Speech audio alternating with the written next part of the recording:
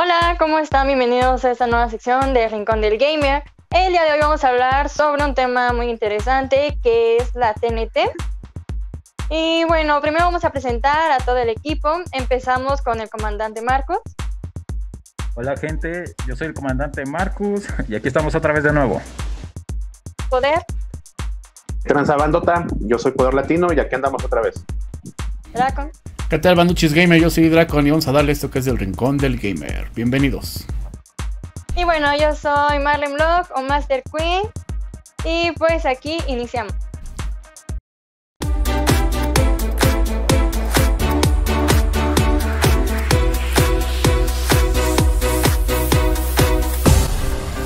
¿Qué tal comunidad gamer? Esto es el Rincón del Gamer. Iniciamos. Pues bien, vamos a hablar en este Rincón del Gamer ya que nos presentó la Master. Vamos a hablar sobre un evento que se realiza en la Ciudad de México dos veces al año y son esos eventos que se hacen eh, de convenciones como la Comic Con, en este caso el TNT, y otros más que se realizan a, lo largo del año. Y bueno, vamos a hablar en específico de la TNT que se realiza en tres ciudades. Tiene la, pues, ventaja o desventaja que nada más es en tres ciudades, que es Monterrey, Guadalajara y Ciudad de México. Y bueno, en un lugar de aquí de la Ciudad de México que todos muchos de ustedes conocen, que es muy cercano a la, llamada Friki Plaza, que también es muy, muy famosa y muy conocida. Pero pues bueno, vamos a entrar en materia y me gustaría que me respondieran los expertos porque yo la verdad no conozco el tema. Y me gustaría que tanto Poder como el comandante Marcus me dijeran, inclusive la, experta Master, que también conoce un poquito del tema, me dijeran qué es la TNT para ver si me animo a ir en las próximas, este... Vaya, eh, en el tiempo que nos dejen salir ya de, esta, de este encierro, ¿no? De este confinamiento. Pero bueno, vamos a empezar con las preguntas, mis queridos compañeros. Y díganme ustedes, ¿Qué es la TNT? A ver, mi querido Marcus, ¿qué es la TNT? Bueno, la TNT es un evento que se lleva a cabo, es para, en algunos casos muchos dirán, es para caracterizarte de ciertos personajes, ya sean de videojuegos, anime o películas de acción o de terror también. Y en este evento pues asisten en algunos casos, no en todos, gente que ha hecho el doblaje de ciertos personajes de anime o película. En el caso en el mío llegó a ser el actor de voz de Dragon Ball, Goku y Vegeta. Y pues eso vendrá siendo... Ah, también se me olvida un punto que en aquí adentro venden objetos, pero eso ya irá más adelante. Eso es lo que para mí es la TNT. Muy bien, este, mi querido Poder Latino, ¿puedes decirnos qué es la TNT para ti? ¿Qué has vivido en esos eh, lugares? Pues bueno, efectivamente es lo que comenta Marcus. Más a grosso modo es como cualquier otra expo. Ah, no sé, la expo que tú quieras, donde hay stands, este, obviamente en este caso pues artistas de, eh, por así llamarlos artistas de, doblajes, de, cómics, de películas sobre ese tema del anime.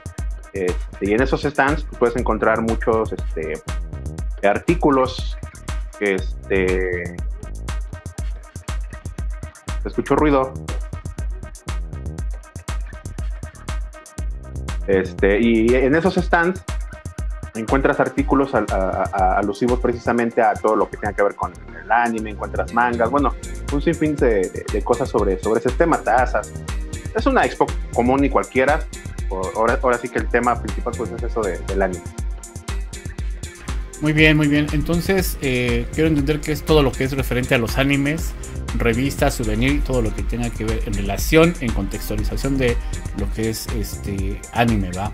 Bien, este, me, gustó algo que comentó el comandante Marcus por ahí, que fue que vio dos personajes muy famosos, que todos los conocemos. A uno de ellos, indudablemente todo el mundo lo conoce, a Mario Castañeda, que es la voz representativa de Goku. No solamente famosa aquí en México, sino en toda América Latina por ser la mejor voz que se ha realizado de, esta, de este anime, al final de cuentas. Y pues bueno, este, ya hablaremos un poquito más adelante de eso. Y bueno, mis queridos este, muchachones, club, a lo mejor esta pregunta va para la Master. Cuéntanos, para ti, ¿qué es el atractivo de la TNT? ¿Cuál sería el atractivo de la TNT? Pues mira, yo digo que para empezar, como que ves cosas, pues diferentes a lo que venden regularmente, por ejemplo, en la Freak y cosas así, que ya no se encuentran muy fácilmente. Entonces, como decían, pues son cosas que aunque están un poquito mayor de precio, ah, encuentras cosas que pues no, no están fácilmente. Y también puedes ver a los cosplayers, está muy padre tomarte alguna foto con ellos, de, que son personas pues obviamente caracterizadas de eh, personajes de anime. Y por ahí este, hay algunas artistas con así que cantando las canciones que ponen en los animes. Y pues siento que esos son los mayores atractivos más que nada. Y obviamente los eh, actores de doblaje. Muy bien, Poder Marcus, ustedes para ustedes, ¿cuál es el atractivo de la TNT en particular? Pues mira, para mí, eh, principalmente yo creo que es el tema de los cosplays, que ves a mucha gente disfrazada de sus personajes favoritos, porque sí hay muy buenas caracterizaciones, eso sí, para hacer este eh, un, mundano, ¿no? Que no está dedicado a, trabajarlo, a, vivir de ello, sino simplemente por, por, gusto, se me hace muy atractivo. Este, otra cosa que también me llamó la atención, eh, yo lo desconocía, eh, que hay, por ejemplo, esos actores, recuerdo que estaba en un stand este Gabriel Chávez, que es la voz del señor Burns, tenía su stand y él te atendía y vendía puros este, artículos de referentes a los Simpsons, ¿no? Por ejemplo, tazas, cositas así. Hasta la misma gente que, que, que, se dedican en, ese ambiente ponen sus stands, ¿no? A mí me tocó cuando fui este, ver eso y pues yo creo que eso es lo, lo más llamativo y también pues, como comentaba Master el tema de que puedes encontrar cosas que no comúnmente encuentras en otro lado, ¿no? El precio pues ya pasa a segundo término, pero encuentras varias cosas. Eso es lo, yo siento que es más que nada el atractivo. Tú Marcus, ¿qué atractivo le ves a la TNT rápidamente?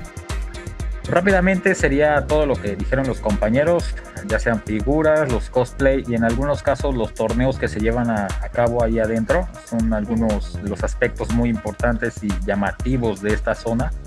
Y poderte tomar foto con todos, eh, con la mayoría de los cosplays. Obviamente los que quieren, no vas a obligar a todos. Okay, o sea que también es, este, esas fotografías son como que voluntarias, ¿no? Porque son cualquier mortal que se disfraza como una, valga, lo entiendo así como una fiesta de Halloween o de Día de Muertos. Y, pero obviamente de sus personajes favoritos de, de, los animes, o sea, el tema es anime. Este, y entonces ahí ya, este, si ellos quieren tomarse las fotos, pues se las toman, ¿no? Que la verdad es que he visto fotos y a lo mejor me voy al, lado chusco, al lado que no les va a gustar mucho a ustedes.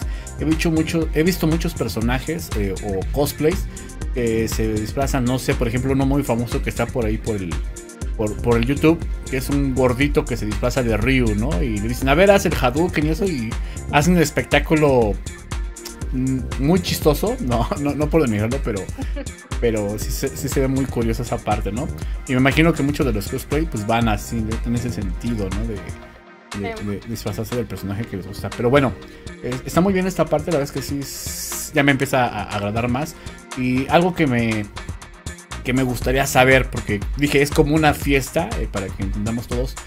Quisiera saber que me comentaran cómo es el ambiente dentro de la TNT, a ver mi querido poder. ¿Cómo consideras tú que es el ambiente dentro ya de la TNT? Pues mira, es muy simple, te puedo decir que es muy sano.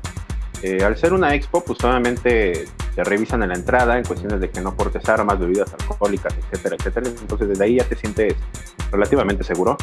Eh, dentro, pues, como la mayoría son chavos, al menos en la época en la que yo fui, este, pues igual, o sea, el, ambiente es totalmente sano, no ves nada desagradable fuera de, de, contexto, todo es muy, muy, muy sano. Muy bien, muy bien, o sea, un ambiente tranquilón. Eh, hay lugares, este, por ejemplo, a mí me tocó ir que es parecido a una. de hecho, es una expo también. Que es la Feria del Caballo en Texcoco. Y pues ahí no puedes entrar con este con souvenirs, ¿no? Nada de comida, nada de, frituras, nada de bebidas ni refrescos. Mm, Pero las bebidas alcohólicas adentro es, abundan. Es, es aventar este, bebidas alcohólicas al por mayor. Pues obviamente los, los costos son elevadísimos. Por, aquí me causa, me, causa una duda. Te pregunto, a lo mejor mi pregunta es muy obvia por lo que acabas de comentar, pero pues, a lo mejor dentro es otro, como te comentaba en la Feria del Caballo.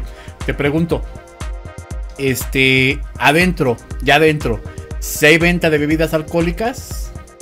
No, nada. O sea, es un ambiente infantil, ¿no? Digámoslo así.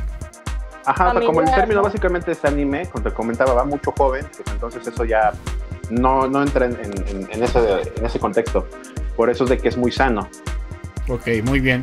Muy bien. ¿Tú cómo lo viviste en su momento, mi querido este, Marcus? ¿Cómo, ¿Cómo consideras tú el ambiente dentro de la TNT? Eh, pues empezando desde la entrada, eh, lo mismo que dijo Poder, te revisan la, mochila o te revisan todo, te hacen ahí lo que ven haciendo, tocar. Si tienes un cosplay, te dicen que te, lo quites y ya ven si no traes lo que ven haciendo armas punzantes o cortantes o armas de fuego, bebida, comida, nada. También lo que vendrá haciendo que en el caso de que necesites medicamentos, porque yo fui una vez en la que necesité tomar un medicamento necesario, eh, te dicen cuál es la razón por la cual necesitas tomar el medicamento, cada cuánto tiempo, ya tú se lo, se lo dices y pues, te permiten la entrada. Obviamente te verifican el, el medicamento. Ya a la hora de estar adentro eh, es un ambiente totalmente sano, libre de toxicidad y en el caso de que haya gente que le gusta fumar, es, hay un, lo que viene haciendo un apartado en el que pues parece como si fueran eh, muñecos, pues, todos se meten a, una caja y ahí a todos a fumar, pero está el humo no sale a lo que viene haciendo la zona en la que está la gente que no fuma. Pues es un muy buen ambiente. De hecho, te agradaría demasiado ir y se pone mejor cuando es de noche. Se pone más interesante un poco en la noche, Muy bien, muy bien, bien, bien. Aquí lo voy a preguntar porque digo, es una, una mirada, eh, es una parte de, de, cómo lo vive un hombre a cómo lo vive una mujer. Entonces en este caso le voy a preguntar a Master, Master, ¿cómo es el ambiente para una chica dentro de, una convención como estas, como es la TNT? Para ti, ¿cómo? Digo, a lo mejor las chicas viven acosadas, no lo sé, yo la verdad nunca he ido, pero este, pues ya ven cómo luego los chicos aprovechan esas oportunidades como para, no sé, ligar o, hacer ese tipo de cosas. Master, ¿cómo vive una mujer una, una convención como esta, una expo como esta? Pues eso no he visto que haya un cierto acoso entre las mujeres. Y además porque pues la gran mayoría pues van o vamos este, caracterizadas, porque sí, yo me he caracterizado algunas veces. Pero este, pues no, no he visto que se presente eso, es muy respetable, o sea, ese lugar. Como dicen, es un lugar como entre comillas, pues se parece que familia. Entonces, pues no, yo no he visto que haya ninguna falta de respeto o cosas así. Me voy a salir del tema.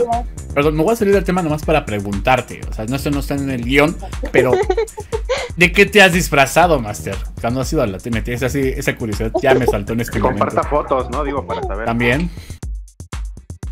Pues una vez hay como un traje, que por ahí lo tengo, que es como de un anime, que es un vestido negro como con rayas rojas trae un gorrito y tiene como unas este, antenitas. Está medio raro, pero me gustó mucho ese. O sea, ni siquiera veía esa serie, pero me gustó mucho el outfit. Y dije, ah, me voy a caracterizar porque, de hecho, todo ese conjunto yo lo compré en la Friki Plaza. Estaba un poquito caro, pero me gustó y lo, con ese fui a ciertas exposiciones. Muy bien. Y también otro con traje como de, de mujer, pero fue de Goku. Ah, cara, o sea, Goku femenino. Goku femenino, ajá. Más para ok, muy bien. Gracias, gracias por compartirnos. La verdad es que este, está, está, se ve que se pone padre entonces por lo que comentas, ¿no? No hay discriminación en esa parte y no hay acoso hacia las mujeres. Un respeto muy, muy grande. Muy bien, muy bien. Vamos a la siguiente pregunta porque la verdad pues, es que sí estoy em, embargado de conocer esta parte. Eh, porque digo, pues ya estoy ruco, pero no, no por eso quiere decir que este y es una pregunta generalizada, a ver quién me la contesta. Si voy yo, ¿me dejan entrar sin problema alguno o hay restricción de edad? No, puedes entrar sin problemas. Ok, entonces la siguiente pregunta va para ustedes. Alguien comentaba de ustedes, y bueno, de hecho los tres comentaron que si hay, hay ventas de anime y souvenirs. Eh, en, cuestión de estas ventas, en cuestión de estas ventas, ¿qué tienen de especial las ventas en sí? ¿O, no tienen nada de especial? no sé, o sea, digo, porque hay productos japoneses. Yo que estoy coleccionando Caballeros del Zodiaco, pues la mayoría me los mandan desde China, porque es muy difícil algunos conseguirlos aquí, o desde Japón. Eh, este, entonces, en este caso, si yo quiero ir ahí, ¿los encontraré o no los encontraré? ¿Ustedes qué comentan? Digo, no, no, necesariamente hablando de Caballeros del Zodiaco, sino los anime en general. Mi querido este, Marcus, ¿nos podrías a ver, vámonos por partes. A ver, Marcos, ¿tú qué has sido? Este, pues sí lo, los vas a encontrar, vas a encontrar gran variedad. desde los que dirías, no, pues estos nunca los he visto, a los que dices, wow, o sea, son el, sueño de, de, cada coleccionista directamente, porque hay mucha gente que los, pues lo, lo que están haciendo los quiere conseguir. A veces, a mí la ocasión en la que me tocó, se estaban subastando de manera así tal cual, eh, decían, este muñeco, bueno, este es un vaso, obviamente, o sea, posición, ¿no? Este muñeco es inicia con tanto, ¿quién, quién quiere empujar con, con tanto de dinero? No, pues tú veías y te acercabas y siempre había gente que, no, que tanto y tanto y tanto y tanto y tanto. Una figura de Dragon Ball que obviamente es así, era, se puede decir que es de colección, llegó casi a los 2500. O sea, sí consigue, pero, o sea, tú dices, ¿los vale el, la figura? O sea, pues por estética sí se ve, pero pues nada más muchos dirán, no, pues es una figura, pero sí lo valía, la verdad, era una figura que nunca había visto. Y pues sí vale la pena y las compras, algunas muy caras, otras no, pero sí lo vale. Ok, poder. Pues mira, eh, la ocasión que yo asistí, reitero, fue hace muchos años, eh, pues tenías en esa época la oportunidad de comprar cosas que no comúnmente conseguías. Hoy en día pues ya tienes las plataformas como Wish, como Amazon, donde puedes encontrar más variedad y en cualquier momento, ¿no? Dependiendo de la disponibilidad. Más sin embargo, eh, lo que sí me llamó mucho la atención es exactamente lo que comentaba Marcus. Encuentras muchas cosas que son edición especial y los coleccionistas están ahí al por mayor. Y por lo que me di cuenta, les vale 3 hectáreas el precio. O sea, ellos quieren tenerlo por ser edición especial, este, limitada, lo que tú quieras. Entonces, este, se me hace bueno eso que puedas encontrar cosas que no, no, hoy en día que tienes más oportunidad de conseguirlo, aún así hay ediciones especiales y limitadas que puedes conseguir ahí. Ya el precio, como comentaba hace rato, pues ya es otra historia, ¿no? Pero sí puedes encontrar gran variedad de muchas cosas. Ok, Master. Pues yo creo que más que nada son ventas como para coleccionistas o personas que quieren encontrar, pues a lo mejor algún, alguna figura que no la venden, como decía, muy fácil o no la encuentras fácilmente. Entonces, pues sí, se eleva su precio por lo mismo de que pues ya no la encuentras casi. Pero sí, pues vas a encontrar una gran variedad de lo que son figuras, cómics, bueno, hasta ropa vas a encontrar, entonces. Pues. Así como la no, que... obviamente no.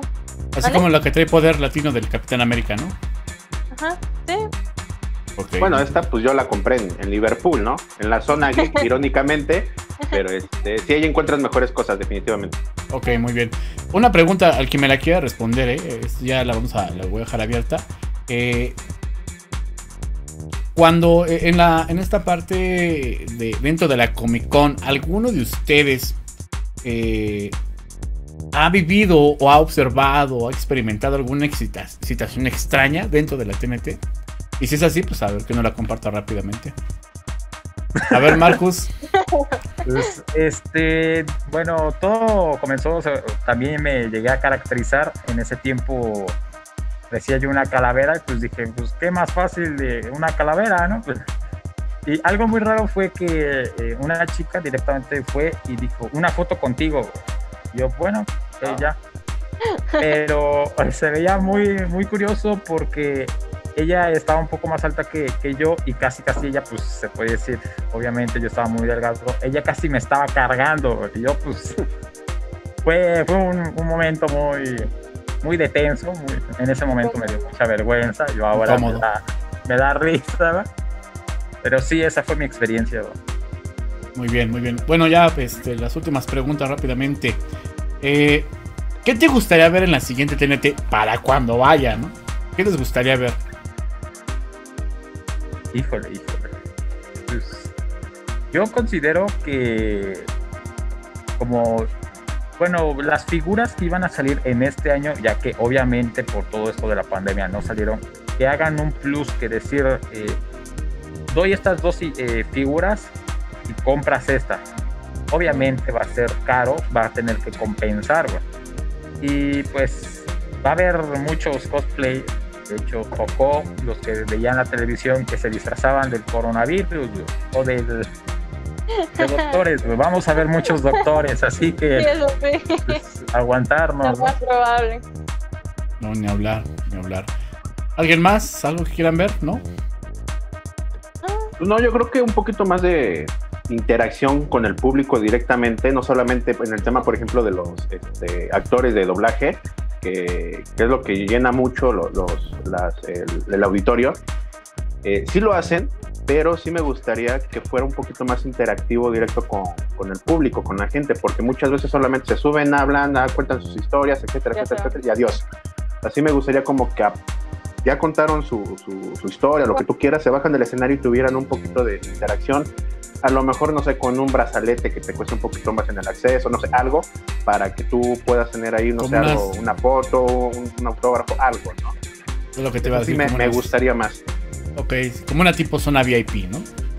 Va, por así decirlo. Que sí, que sí la hay en la. Como un este, meet and greet, que así le dicen, para comprar tu pase de meet and greet y que a lo mejor pudieras entrar a uno exclusivo, ¿no? Ajá, ah, es lo que iba a comentar. De hecho, sí existe para la. la, la este, iba a decir la E3, pero no la E3. De aquí de México que se hace de, de, videojuegos. Este, Aquí sí hay, ¿no? El, el pase VIP para los que quieran entrar. Pero bueno, la última pregunta, muchachos, ya que este, eh, me comentaron sus experiencias y la verdad que se ve que está muy bueno. Eh, cree, eh, alguien comentaba, a mí me dijo, no sé, este, alguien comentaba de las bandas, ¿no? Que llegaban los cantantes, no sé, el cantante que se aventó la de, no sé, Caballeros del Zodiaco y eso. O sea, nada más se presentan estas personas o, puede haber un escenario abierto para... Porque hay, hay que recordar que hubo un un grupo, no sé si es desde Oaxaca, Guerrero, que se volvió muy famosa su canción, que era la, la canción de Goku, o cómo se llama, la canción de la, cumbia de Goku. Y de repente este, salió un video viral que salieron unos chavos tratando de tocar esta canción, pero sí se escuchaba muy... O sea, se notaba que no eran ellos los, los originales, ¿no? Entonces me gustaría ver, eh, me gustaría saber, ¿existen esas tipo banditas caseras que se llegan a presentar en la, en la TNT o, o esta parte no es así? Bueno, mira, en mi caso eh, hubo dos variantes. Eh, cuando yo fui, no sé si actualmente se sigue haciendo ahí, fue en esa época se llamaba el Centro de Convenciones de Tlatelolco, hoy en día conocido como el Gran Salón. Eh, si ubican ese lugar, está precisamente el Gran Salón y tiene salas anexas donde tú puedes seguir este, ingresando a otros stands, a otros lugares. En el Gran Salón, en, el auditorio principal, en el escenario, eh, estaba como una especie de karaoke. Entonces tú, te formabas y este, podías subirte al escenario, pedir la canción que tú quisieras y cantarla. Y si querías ahí en pareja, en trío, lo que tú quisieras ahí, subirte y punto. Había también concursos. Ahora sí que por votación del público, órale, ¿no? Se llevaba un premio. En una sala anexa, alterna a todo ese relajito, habían bandas de rock. Eh, me llamó mucho la atención que eran chavitos Chavitos, ¿a qué me refiero? Una edad, yo creo que oscilando alrededor de los 13 años a máximo, yo creo que veintitantos, 22, 23, eh, tocando precisamente música este, alusiva a eso, eh, pero principalmente era rock y, me, llamó mucho la atención que también era mm, muy llamativo ver eso, porque también iban caracterizados este, tocando y, y, sí se rifaban, ¿eh? o sea, la neta es de que sonaban bastante bien. Me imagino que tú como teniendo tu propia banda y quieras ingresar ahí a, tocar, eh, quiero creer que te hacen a lo mejor una especie de casting o algo así para que puedas ingresar. No creo que se avienten a, ah, tú quieres tocar, pues súbete, ¿no? Trate tu banda y que suene de la chingada, ¿no? Yo creo que sí les hacen como una especie de, casting, para seleccionar y darle sus horarios y, sus días para que, actúen en, esos eventos. Pero sí hay esas dos vertientes precisamente. Sí, tienen que cumplir su programación y pues, no pueden este, estar a expensas de que vaya una banda o no vaya nada más por, por invitarla, ¿no? Muy buen punto. Pues muy bien, me agradó mucho, me agradó mucho ese tema de, de, pues vaya, de la TNT, la verdad es que sí me interesa. Ya me están metiendo la, la, la espinita de ir. me gustaría ir. No voy a ir disfrazado, definitivamente no, no soy de ese tipo de personas. No me gusta para nada hacer eso, pero pues para ir a ver y, a ver qué me encuentro en las, en las pujas. Dicen que hay también este, subastas, ¿no? Entonces suena interesante. Ya si me invitan al, al, karaoke para sacar los gallos, pues también me voy preparado como el gallo Claudio y nos aventamos unos buenos gallos. Pues bien, vamos a despedirnos. Gracias por su por su explicación, por darnos eh, a conocer que es una TNT y que esperemos ya pronto abran para poder visitarlas y, disfrutar de esa, de esa gran experiencia. Pues yo, vámonos a la sala de despedida. Pues bien, chavos, yo soy Dracon y yo me despido del todo el club y le pido que se despida la Master. Bueno, yo soy Marlene Block o Master Queen y no se olviden de suscribirse, darle like y pasarse por mi canal que es Marlene Blog. También está con nosotros, le agradezco mucho por todo lo que nos colaboró, nos apoyó al Poder, Poder Latino. Pandita, yo soy Poder Latino y pues aquí andamos. Gracias por vernos y nos vemos en la siguiente.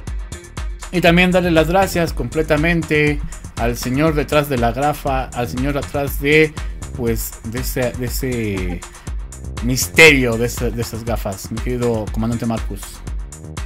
Pues yo soy el comandante Marcus y les haya gustado y nos vemos hasta la próxima. Yo soy Dracon, muchas gracias por vernos, denle like, suscríbanse y nos vemos hasta la próxima. Felices juegos. Bueno, aquí termina otro video de Gamer Mex. Recuerda suscribirte, darle like y ver más videos. También ponte en contacto en las redes sociales. Yo soy Marlene Blog y hasta la próxima.